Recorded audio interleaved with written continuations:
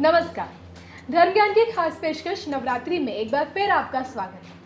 अगर आपके विवाह में विलंब हो रहा है, आपके कार्य क्षेत्र में, कारोबार में घाटा हो रहा है, या फिर यूँ कहें कि पैसे की तंगी है, संतान सुख से आप वंचित हैं तो ऐसे में इस नवरात्र काल में माँ दुर्गा को आप कैसे प्रसन्न कर सकते हैं? खासकर कुंभ राशि वाले लोग, आइए जानते हैं एक बार फिर एस्ट्रोलॉजर कृष्णा जी से।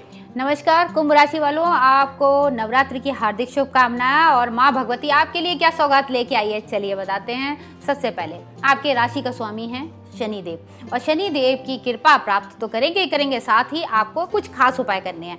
आपने जो है नौ मंदिरों में जाके जो घड़ा होता है ये नहीं कि सुराई रख दें, घड़ा रखिएगा।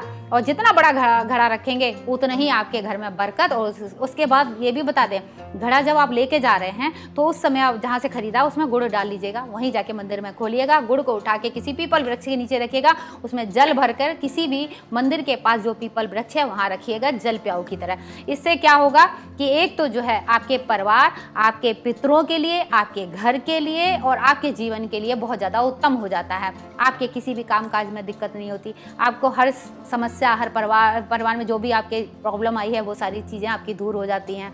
यदि आपका बच्चा या कोई बच्चा पढ़ाई लिखाई में उसका मन नहीं लग रहा है तो उनके लिए खास उपाय, आप जो है केसर का और हल्दी का तिलक लगाया करें। हल्दी नहीं तो केसर का तिलक तो ज़रूर लगाया करें।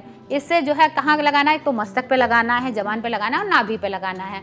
हमारी बुद्धि और ज़्यादा तीव्र रहती है। माँ सरस्वती की पूजा, आराधना करना इन बच्चों के लिए बहुत ज़्यादा बेहतर रहता है। छोटे बच्चे हैं तो माँ उनके लिए ये पूजा, आराधना करे तो भी बेहतर रहता है।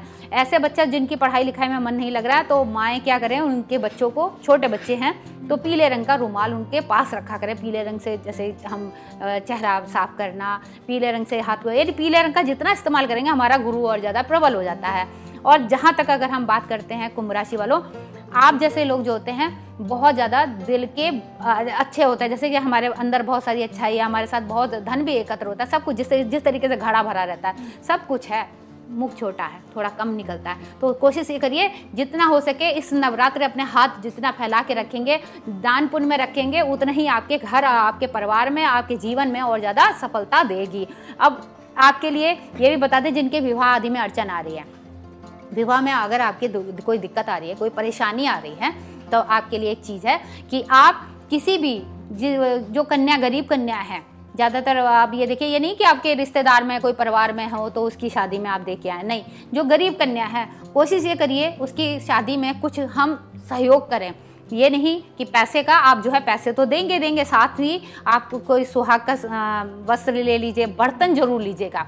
बर्तन लीजिएगा, लोहे की कढ़ाई उसमें ज़रूर होनी चाहिए। ये सारी चीज़ें लेके आप उस, जिस गरीब कन्या के विवाह में आप जा रहे हैं, वहाँ पे जाकर उसको दे के आइएगा। और ये कामना के साथ जाइएगा कि शनिदेव, क्योंकि शनिदेव जो है, जब सप्तम भाव पे भी दृष्टि डालते हैं, इनकी वजह से भी शादी विवाह के योग बनते हैं। तो आपकी विवाह में आने वाली अड़चन दूर हो जाती है।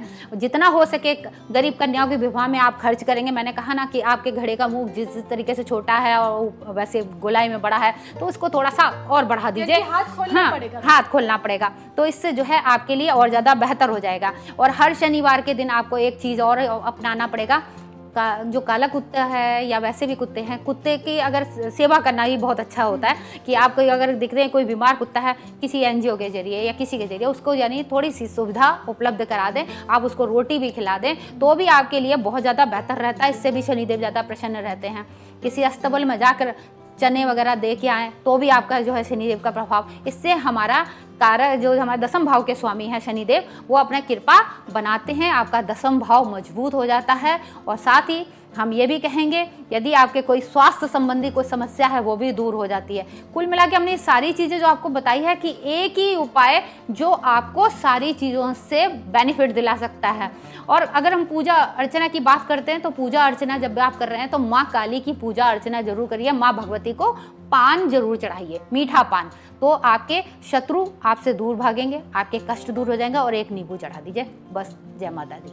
चलिए ये वो सरल उपाय थे जो कुंभ राशि वालों को करने चाहिए अगर उन्हें अपनी परेशानियों से छुटकारा पाना है इस नवरात्र काल में तब तक ले मुझे और कृष्णा जी को दीजिए इजाज़त और एक बार फिर जय माता दी।